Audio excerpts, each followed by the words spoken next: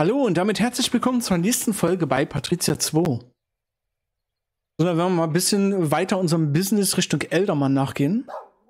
Jetzt haben wir schon zwei Aufträge für die Hanse nochmal erledigt, seit wir jetzt Eldermann sind. Oder waren es drei? Und glaube ich sogar drei. Ne? Wir hatten einen Piraten nochmal direkt gejagt. Damit haben wir nämlich schon mal einiges wieder erledigt hier für die Hanse. Und zusätzlich nochmal ein bisschen Eisenerz mitnehmen von der Stadt.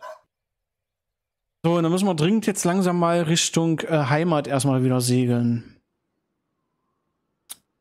Natürlich machen könnten, wir könnten vorher auf dem Weg nochmal nach Edinburgh segeln oder besser Scarborough und nochmal ein bisschen was mitnehmen. So, der Landesfürst, was will er denn haben? 50 mal Bier, Eisenwaren, Holz und Pech und Getreide. Da spende ich lieber mal wieder ein klein bisschen an die Stadt.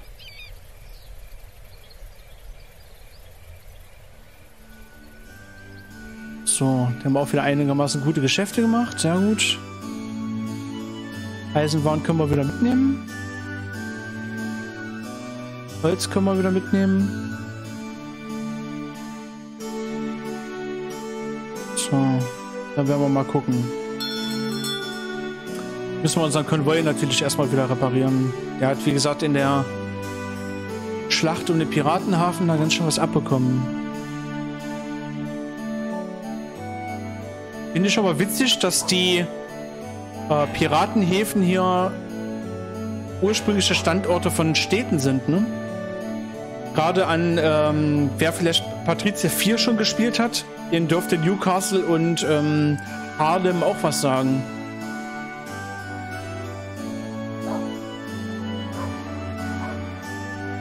Das ist tatsächlich ziemlich cool. Normalerweise müssten wir dann hier vielleicht auch noch Göteborg bekommen, ne?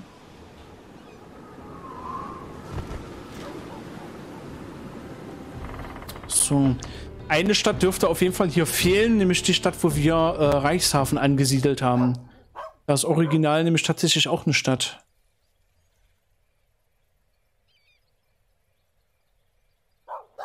Oh, da haben wir dann also wie gesagt einen kleinen, kleinen Unterschied. Macht mich jetzt aber nicht, wie die Stadt hier ursprünglich hieß. Die habe ich, glaube ich, ein einziges Mal oder so zu Gesicht bekommen in einer Partie, wie ursprünglich die Stadt tatsächlich war. So, dann auf nach Reichshafen, denn wir müssen dringend reparieren.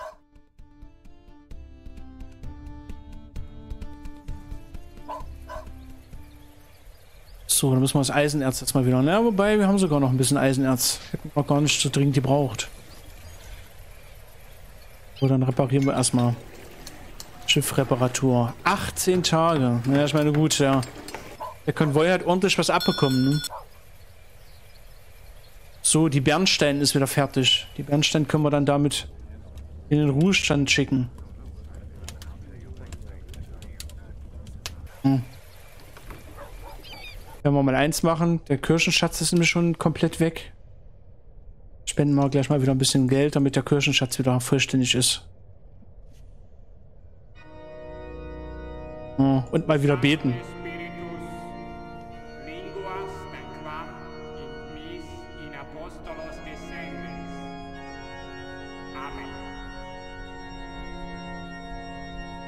Werde ich wieder was für die Stadtzufriedenheit tun.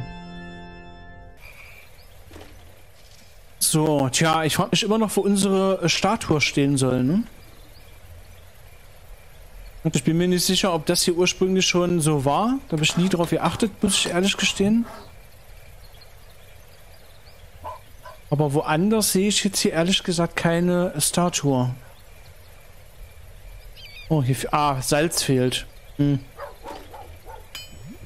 Müssen wir mal dringend wieder Salz organisieren. Und generell mal gucken, ob wir irgendwas ausbauen können. So, Brunnen gibt es immer noch genug, okay. Hafenkanone könnte man mal noch bauen.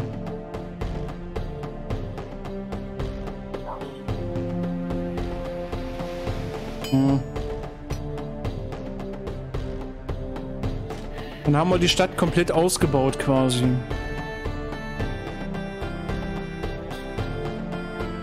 Genau, sind alle Gebäude ausgebaut. Baumaterial haben wir damit auch gleich wieder ein bisschen verbraucht. Was wir mal machen müssen... Müssen wir mal gucken, was es hier erwischt hat. Eins, zwei, zwei Kanonen hat es erwischt. Und vier brauchen wir nochmal. Also sechs Kanonen bräuchten wir nochmal. Ja.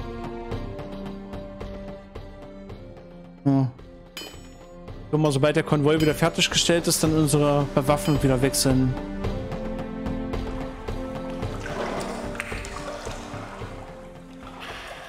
Oh, Bart haben wir uns auch erstmal gegönnt.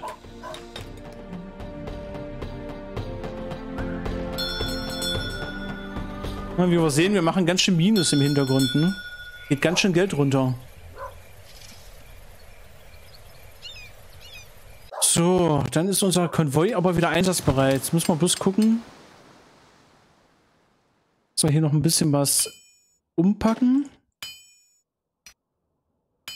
Dass wir dann die Waffen wechseln. Kleinen Werke runter und die Kanonen drauf. Ja. So, Besatzung, denke ich, sollte reichen. Da werden wir jetzt erstmal nicht nachfüllen. So, dann müssen wir mal gucken. Was haben wir jetzt noch so für Aufträge? Gucken wir uns in der Hanse direkt mal um. So, wir sind immer noch Platz 1 überall.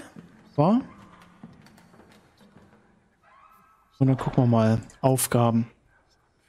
Im Norden zu gründen eine neue Handelsniederlassung.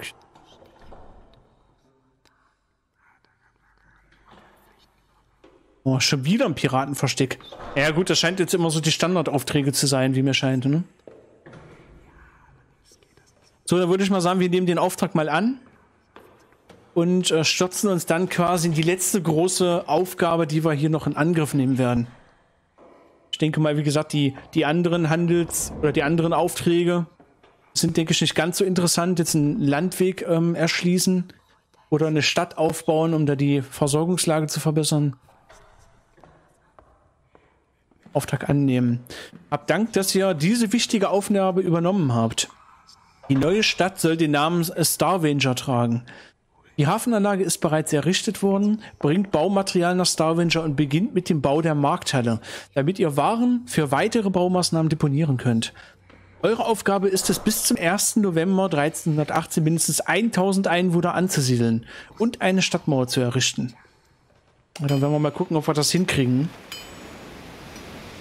Dann werden wir mal gucken, ob wir das hinkriegen. So, da müssen wir auf jeden Fall Ziegel mitnehmen. Die brauchen auf jeden Fall noch Ziegel.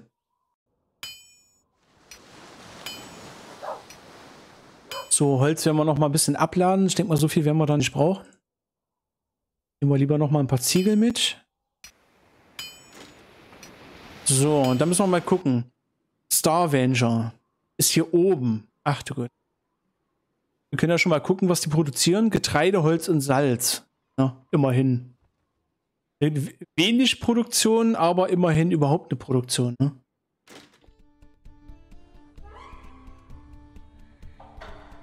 So. Bürgermeister sind wir. Wir müssen mal gucken.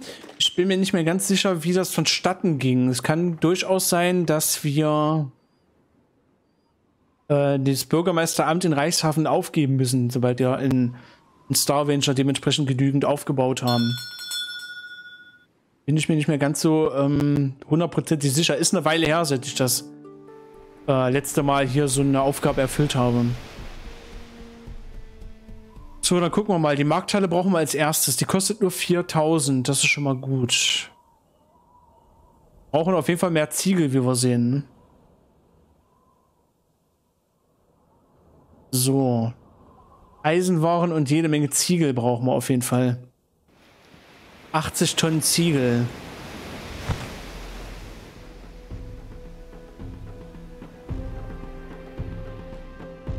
Was wir mal machen können. So, wir können auf jeden Fall schon mal ein paar Sachen hier abladen. Gerade die Baumaterialien. Und dann holen wir uns nämlich aus Oslo gleich nochmal. Wobei, wir müssen in Reichshafen nochmal Eisenwaren holen. Machen wir uns mal auf den Weg.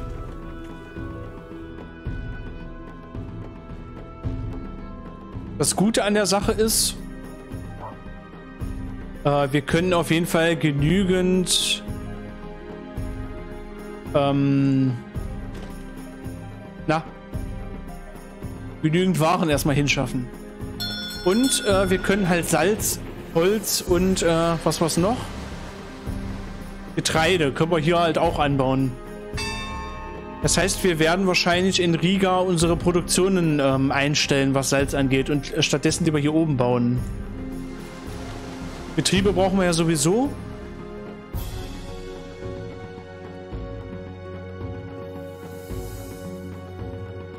So, jetzt brauchen wir noch mal dringend Ziegel, ne? Müssen wir also aus Oslo noch mal dringend Ziegel organisieren.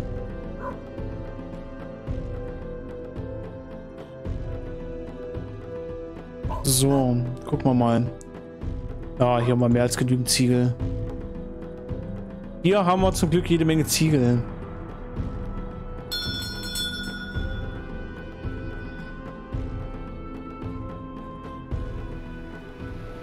So. Schaffen wir die Ziegel schon mal rüber und dann bauen wir schon mal das Rathaus. Bei 13.000. Ja, wir bauen unseren Kontorisch auch gleich mal auf. Hm. Wird halt alles eine ganze Weile dauern. So, jetzt brauchen wir wieder Ziegel.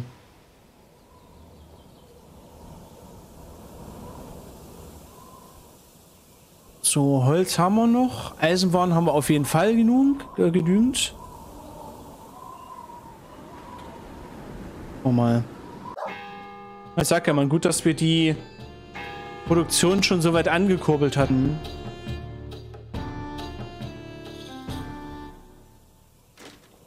So, Holz nehmen wir auch nochmal mit.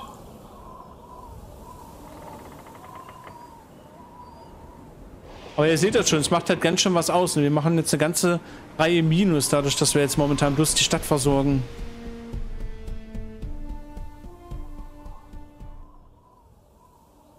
So, dann bauen wir mal gleich die Infrastruktur auf. So, damit haben wir zumindest schon mal die städtischen Gebäude. so, da müssen wir mal überlegen. Tja, wir brauchen halt 1000 Einwohner. Das ist nicht gerade wenig. So, dann gucken wir mal. Dann werden wir hier auf jeden Fall die Produktion mal einstellen. So, hier werden wir mal verkaufen.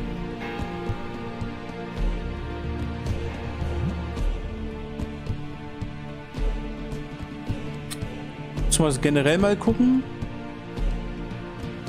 Holz haben wir halt hier auch jede Menge. Ne?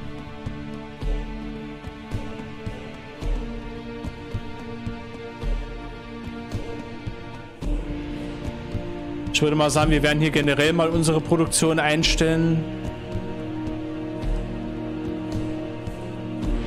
Das rentiert sich hier, glaube ich, aktuell nicht mehr. Werden wir mal unsere gesamte Produktion einstellen. Wir müssen mal gucken. Äh, wir hatten irgendwo auch noch einen Standort, wo wir Pech äh, herstellen konnten. Schon mal kurz gucken, wo das war.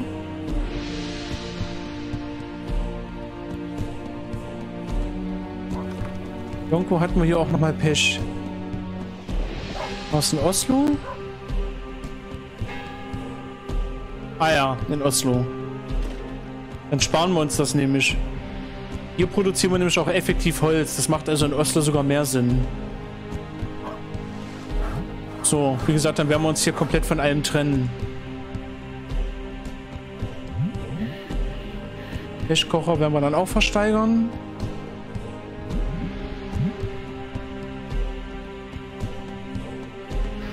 Machen wir eine kleine Umpositionierung. Hat halt auch den Vorteil, äh, wir machen oder wir sparen erstmal wieder ein bisschen äh, Produktionskosten.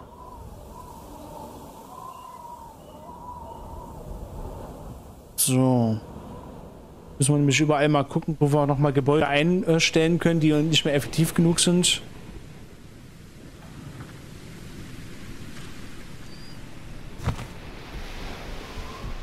So. Gut würde ich mir fast sagen, wir werden hier erstmal direkt anfangen und äh, bauen die ersten Gebäude erstmal. Das Gute ist, da wir momentan die Ersten sind, die jetzt hier anfangen zu bauen, können wir im Prinzip auch so ein bisschen entscheiden, wo wir die ersten äh, Wohngebäude ähm, positionieren. Können das also ein bisschen anständiger bauen.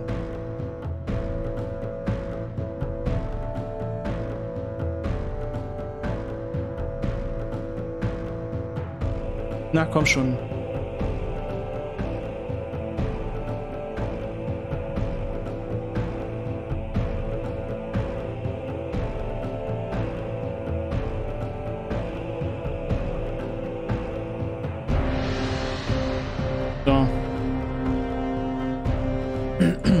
Machen wir erstmal Großbauauftrag quasi. So, jetzt bauen wir wieder Ziegeln. So, Holz haben wir noch genug. Ziegel brauchen wir wieder. Könnt ihr mal gucken, was die, äh, wie lange das dauert, um gebaut zu werden. Ah, hier gibt es anscheinend gar keine Bauanzeige. Ne? 31 Tage.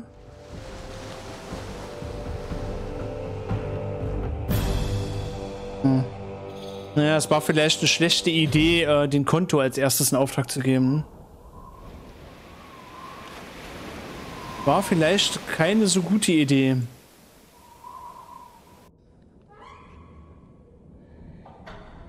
Hätten wir vielleicht doch erstmal die Infrastruktur generell bauen sollen. So, dann machen wir uns mal wieder nach Oslo. So. Oslo werden wir auf jeden Fall mal gucken. Da hatten wir auf jeden Fall auch Eisenwaren. Ne? Beziehungsweise Eisenerz so rum. So. Holz. Gucken wir erstmal, dass wir unsere Eisenwaren so wieder verteilen.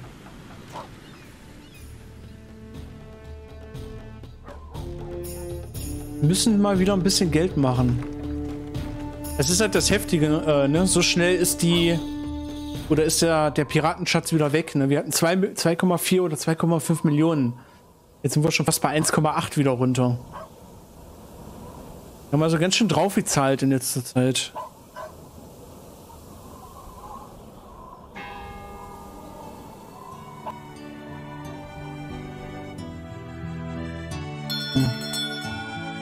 Nächste Abrechnung. Es geht halt massiv was runter.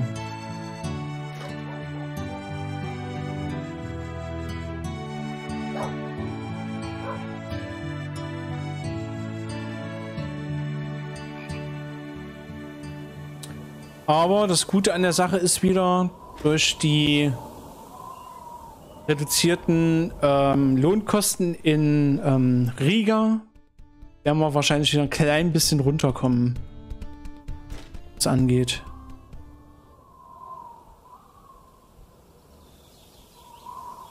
So. Können wir rein theoretisch auch mal ein bisschen mehr verkaufen. Gehen wir mal bis 800 runter.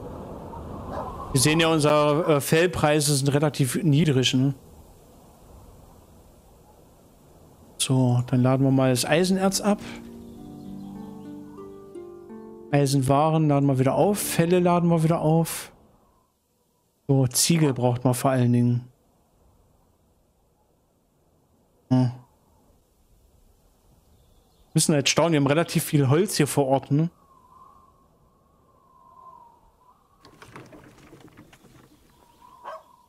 Wir haben tatsächlich relativ viel Holz momentan. Wollen wir mal wieder nach Scarvenger. Das Problem ist, wir müssten die äh, Stadt generell schon versorgen. Ne? Wir sehen halt schon, hier fehlt halt momentan alles.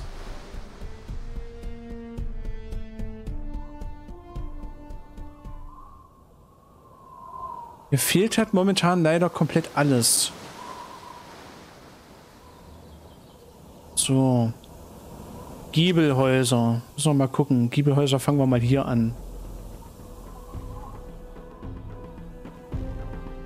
So. Dann gucken wir mal schon mal. Ist natürlich jetzt ein bisschen ungünstig, dass wir hier als erstes alles bauen müssen.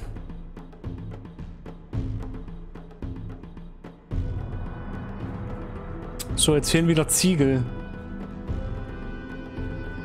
So, meine Freunde, ich würde sagen, wir machen wieder eine kleine Pause. Das war's für diese Folge. ihr seht das schon, wir müssen die gesamte Stadt erstmal komplett hochziehen. Ne? Wir haben also jede Menge vor uns, was wir in der nächsten Folge erledigen müssen. Wenn euch diese Folge wieder gefallen hat, wieder fleißig das Däumchen drücken. Freut sowohl mich als auch das Däumchen, wenn es gedrückt wird. Ihr kennt das Spiel. Und dann sehen wir uns schon bald in der nächsten Folge hier bei Patricia 2. Bis dahin immer eine Handbreite Wasser unterm Kiel und ciao, ciao.